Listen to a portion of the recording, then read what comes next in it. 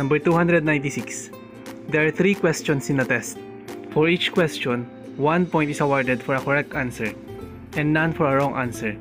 If the probability that Janine correctly answers a question in the test is 2 over 3, determine the probability that she gets 0 in the test. So given tayo ng probability ng correct answer, which is 2 thirds. Tapos meron tayong 3 questions. At ang hinahanap natin, ano ang probability that she gets 0 or she gets all wrong. Since ang probability natin na correct yung answer niya ay 2 thirds, yung probability naman na incorrect is 1 minus 2 thirds. Probability is 1 minus 2 thirds. Ito yung probability na incorrect siya. Which is 1 third. So ngayon, anong probability na dun sa 3 questions na inansweran niya, 0 makukuha niya. Ibig sabihin, incorrect all 3. So itong 1 third, erase mo lang sa 3. So equal to sa 1 over 3 raised to 3 is 27.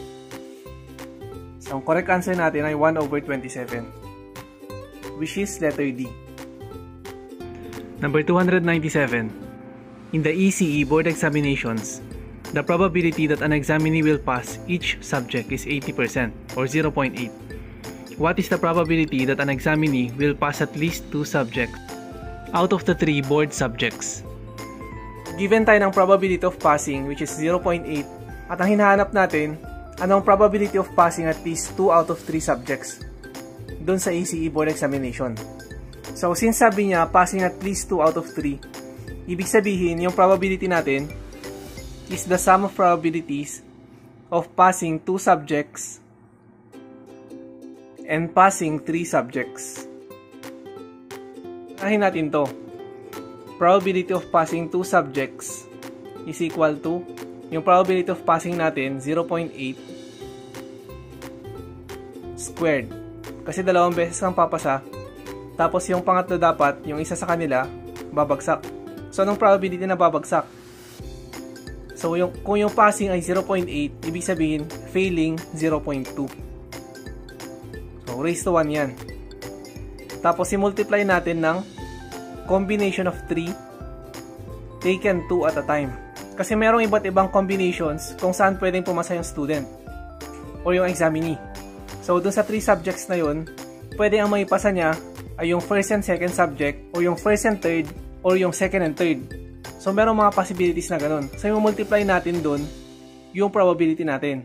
So, dun naman sa probability ng passing 3 subjects, P3 is equal to So, yung probability of passing natin ay 0.8 raised to 3.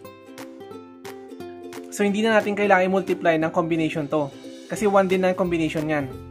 Kasi from 3 subjects, i-combination natin 3. 3 dapat yung ipapasa niya. So, 1 din lang to. Kaya hindi mo na kailangan i-multiply. So, i-solve natin itong mga to.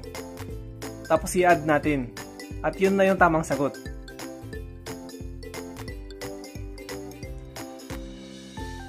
So, 0.8 squared times 0.2 times 3 combination 2 equals 48 over 125 plus 0.8 raised to 3. So, ang tamang sagot dito ay 112 over 125 or 89.6%. So, dun sa choices, letter D ang tamang sagot. Number 298.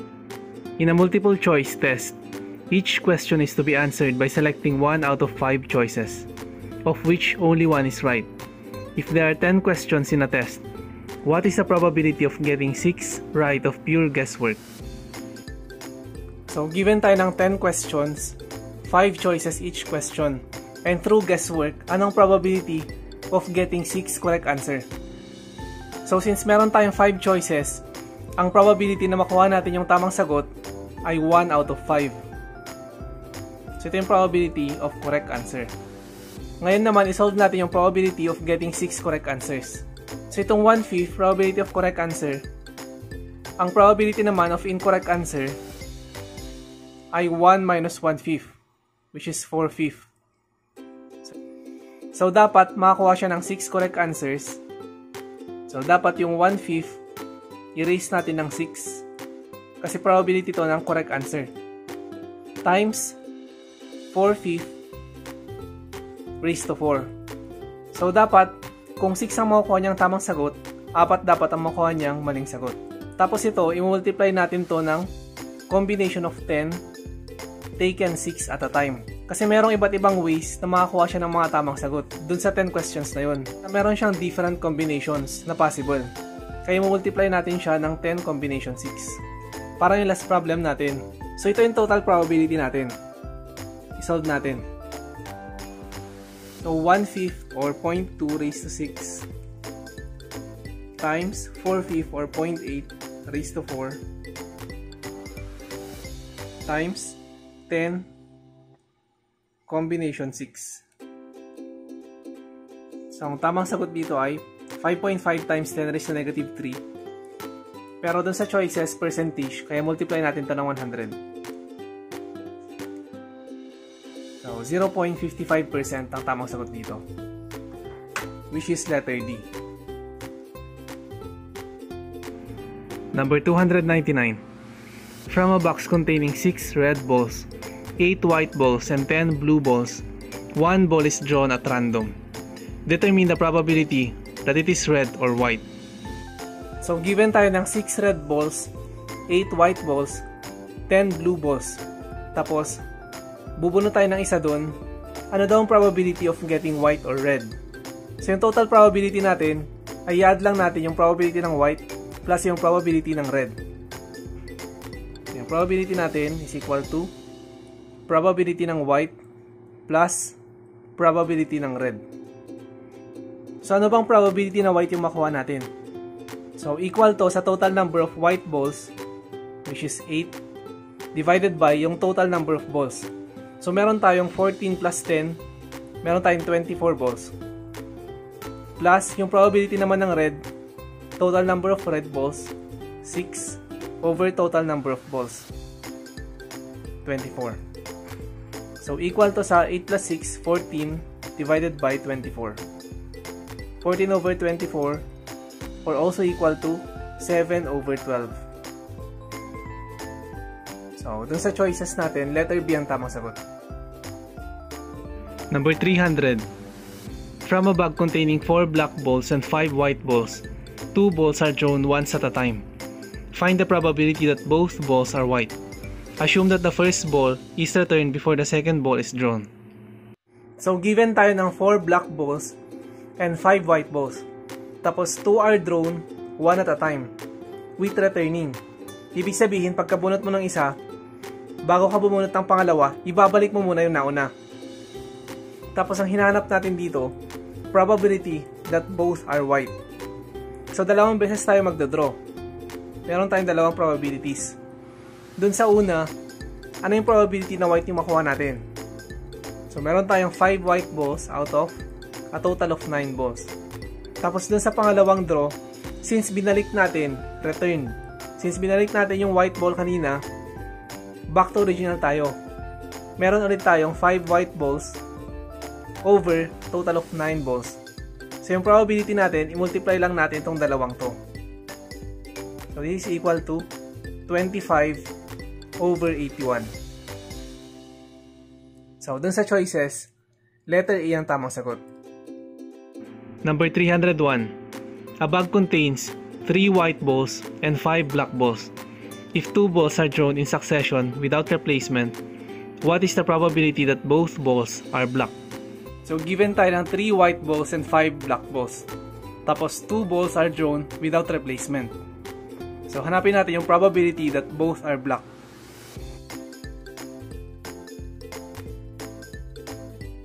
So yung desired outcome natin or desired event are combination of 5 taken 2 at a time. So from the 5 black balls, dapat makuha natin yung dalawa. Tapos, divided by yung total possibilities. So meron tayong total of 8 balls. Tapos kukuha tayo ng dalawa dun. So ito yung total number of possibilities or total number of events. Ito naman yung desired event. Dapat ang makuha natin galing sa black. So yung probability natin is equal to 5 combination 2 divided by 8 combination 2. So, 5 over 14. So, dun sa choices, letter D ang tamang sagot.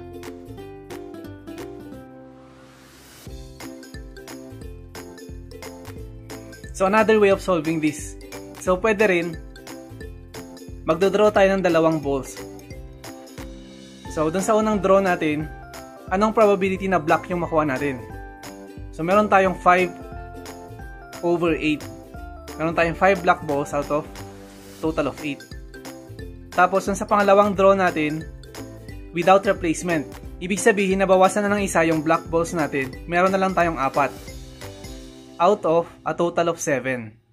Kasi nga nabawasan na ng isa, yung 8 na total balls natin. So pag pinultiply mo yan, magiging 20 over 56.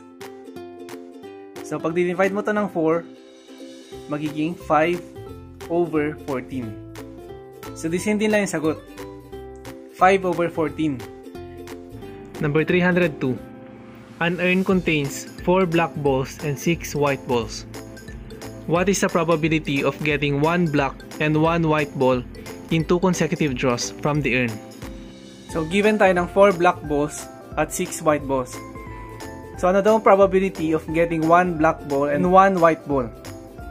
So, ang solution nito, yung probability natin is equal to sa so, numerator natin, dapat makakuha tayo ng isang white ball at isang black ball. So, dun sa black ball, dapat makakuha tayo ng isa dun sa black. So, 4 combination of 1 times dun sa white ball, dapat meron din tayo isa na makuha. So, from 6, dapat makakuha tayo ng isa. Tapos, i-divide natin ang total possible combinations. So, meron tayong 10 balls in total. So, from 10 balls, kukuha tayo ng dalawa. So, ito yung probability natin. So, yung 4 combination 1, 4 lang yan. Tsaka yung 6 combination 1, 6 lang yan. Tapos, i-divide natin yan ng 10 combination 2. So, 8 over 15 ang tamang sagot. In decimal, 0.53. So, dun sa choices, letter C ang tamang sagot. 0.53. Another way of solving this, probability is equal to So, anong probability na yung unang draw natin, black ang makuha natin? 4, di ba? 4 over 10. Times, ano yung probability na yung second draw natin, white naman yung makuha natin? So, meron tayong 6 over 9. 9 na lang kasi nabawasan na ng isa yung total number of balls natin. Kaya lang, hindi lang yan yung possible way. Kasi ito black yung nauna white yung sumunod. Pwede ring white yung mauna, black yung sumunod. So another way, white yung nauna, 6 over 10 times black yung sumunod, 4 over 9.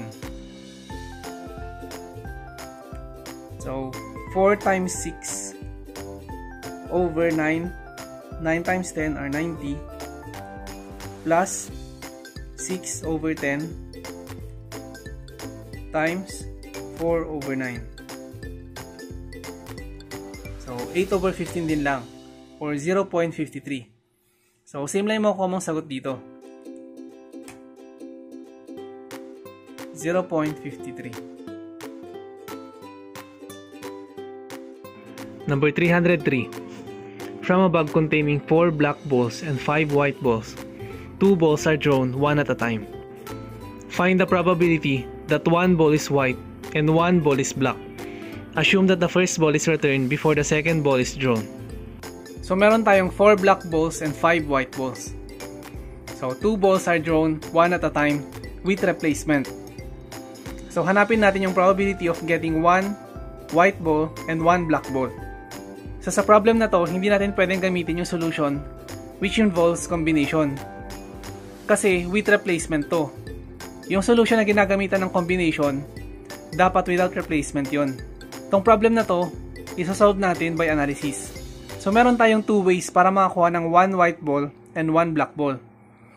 Yung first case, pwede ang mauna ay white, tapos yung susunod ay black. So, yung second case naman or second scenario, pwedeng black yung mauna at white yung susunod. So, dun tayo sa first scenario muna. Anong probability na white ang unang mabunot natin? So, meron tayong 5 white balls divided by a total of 9 times So, dun sa pangalawang draw natin, ano yung probability nang makuha naman natin ay black? So, meron tayong 4 black balls divided by 9 pa rin. Kasi binalik natin yung white ball kanina. Kasi with replacement to. So, ito yung probability ng first case. So, meron tayong 20 over 81. Tapos yung pangalawang case naman, o scenario, kapag black ball yung mauna, meron tayong 4 over 9 kasi 4 black balls divided by total of 9. Tapos yung pangalawa, 5 white balls divided by a total of 9 balls. So meron tayong 20 over 81 pa rin. So yung total probability natin, i-add mo lang tong dalawang to. 20 over 81 plus 20 over 81. So pag pinag-add mo yan, i-add mo lang yung numerator niya, meron kang 40 over 81. So ito na yung tamang sagot. At based sa choices, Letter D ang tamang sagot. Number 304. A group of three people enter a theater after the lights had dimmed. They are shown to the correct group of three seats by the usher. Each person holds a number stub. What is the probability that each is in the correct seat according to the numbers on seat and stub? So meron tayong three people. Tapos ang hinahanap natin, probability of correct arrangement. So, para malaman natin yung probability, dapat malaman natin kung ilan yung desired events natin. So, ilan ba yung possible na correct arrangement? Isa lang, di ba? Isa lang naman yung correct arrangement sa kanila. Tapos, i-divide natin sa total number of possible events. So, ilan yung pwedeng arrangements ng 3 people? So, 3 factorial or 3 permutation of 3. So, ganun na kasimple yung solution ng problem na to. 1 divided by 3 factorial. At ang 3 factorial ay 3 times 2 times 1 or 6. So, ang tamang sagot dito ay 1 over 6. So, dun sa choices, letter A ang correct answer. Number 305. From 20 tickets marked with the first 20 numerals, one is drawn at random. What is the chance that it will be a multiple of 3 or of 7? So, meron tayong 20 tickets numbered 1 to 20. Tapos 1 is drawn. So ano daw yung probability na yung nabunot na ticket ay multiple of 3 or 7. So probability is equal to yung desired outcomes, number of desired events or outcomes divided by total number of events. So yung total number of events natin, meron tayong a total of 20 tickets. So ano ba yung mga multiple ng 3 at 7 from 1 to 20? So unahin natin yung 3. So, meron tayong 3, 6, 9, 12, 15, 18. Tapos yung 7 naman, meron tayong 7 and 14. So, ito lang yung mga multiples na possible. Ito yung mga desired events natin. So, meron tayong 1, 2, 3, 4, 5, 6, 7, 8. Meron tayong 8 desired events or possible outcomes. So, ito lang ilagay natin sa numerator. So, 8 divided by 20 is equal to, pag, pag sinimplify mo to, equal yan sa 2 out of 5. So, dun sa choices, letter D ang tamang sagot. 2 out of 5.